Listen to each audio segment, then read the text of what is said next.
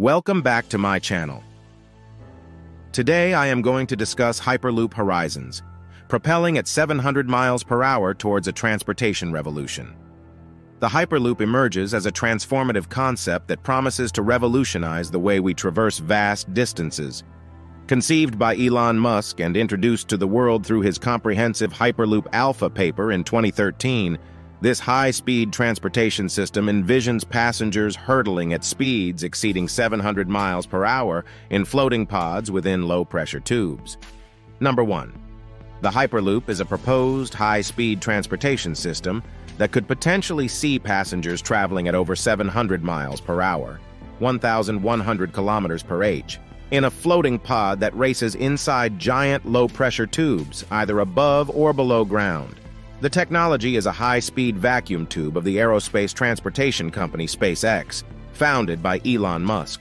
The concept of the Hyperloop became widely popular in 2013 thanks to Elon Musk's 58-page Hyperloop Alpha paper that outlined the design, cost, and safety of the concept. Magnets lining the bottom of the pod repel the tube material, levitating the pod as it runs. Number 2. The Hyperloop is a proposed high-speed transportation system that could potentially see passengers traveling at over 700 miles per hour, 1,100 kilometers per h, in a floating pod that races inside giant low-pressure tubes, either above or below ground. The technology behind the Hyperloop is a high-speed vacuum tube of the aerospace transportation company SpaceX, founded by Elon Musk. Number 3.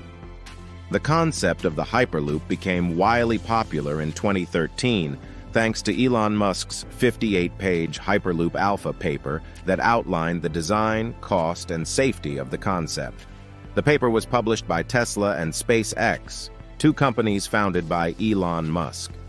The Hyperloop is a proposed high-speed transportation system that could potentially see passengers traveling at over 700 miles per hour, 1,100 kilometers per h, in a floating pod that races inside giant low-pressure tubes, either above or below ground one.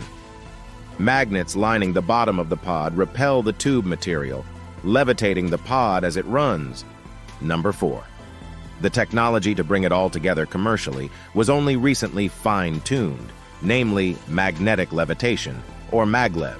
Maglev is basically what allows a hyperloop to go incredibly fast, thanks to the lack of friction between the passenger-carrying pods and the tube-shaped track. The general concept is simple. Magnets lining the bottom of the pod repel the tube material, levitating the pod as it runs. The technology is expected to be ready by the end of the decade, with shorter tracks for passenger transport. Number 5. With a successful human test ride in November 2020, we could be less than 10 years away from it becoming reality. The technology is expected to be ready by the end of the decade, with shorter tracks for passenger transport. The Hyperloop concept removes a key element that holds a lot of trains and planes back, air resistance.